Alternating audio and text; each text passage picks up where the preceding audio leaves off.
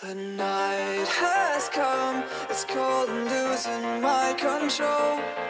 Your light is gone. Bagaimana peluang yang dimiliki?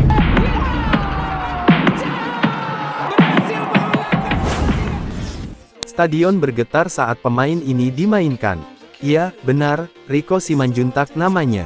Di mana dalam laga perdananya bersama timnas saat diasuh Shin Taeyong ia menampilkan permainan yang impresif penuh talenta dan terlihat matang mainnya.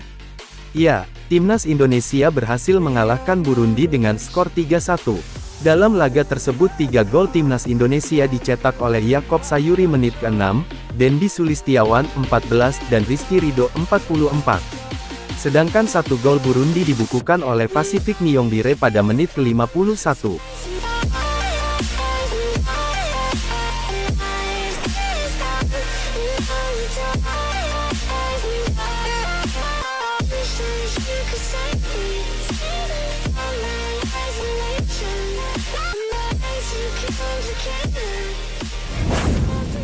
Ya, meskipun timnas Indonesia berhasil menumbangkan timnas Burundi, Rico Simanjuntak mengaku belum puas dengan performanya.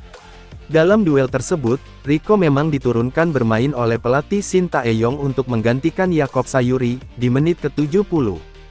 Ia berperan dominan di sayap kanan, dan sanggup mengikuti instruksi dari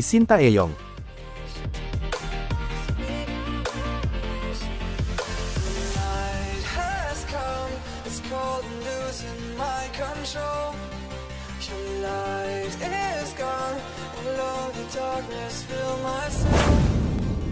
Setelah laga tersebut, winger lincah milik Persija Jakarta itu pun mengatakan berjanji akan mematangkan instruksi yang diberikan oleh Shin Taeyong, untuk laga selanjutnya, Dain ia mengatakan.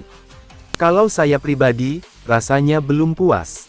Pasti bisa lebih baik lagi ke depannya. Saya harus bisa lebih belajar lagi mengikuti taktik yang diinginkan Coach Shin. Ucap Rico setelah usai pertandingan. Pertandingan tersebut juga menjadi debut Rico Simanjuntak di timnas Indonesia dengan asuhan Shin Taeyong. Buktikan di laga kedua Bang Rico.